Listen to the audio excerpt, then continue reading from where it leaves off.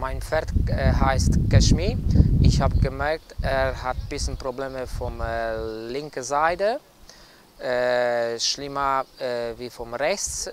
Äh, und dann ich habe hier gekommen einmal mit ihm. Wir haben geguckt, ge gescannt und zweimal behandelt. Heute war schon viel besser. Hat er ähm, äh, null Runde gemacht in 1,45, äh, viel besser galoppiert und viel besser gesprungen.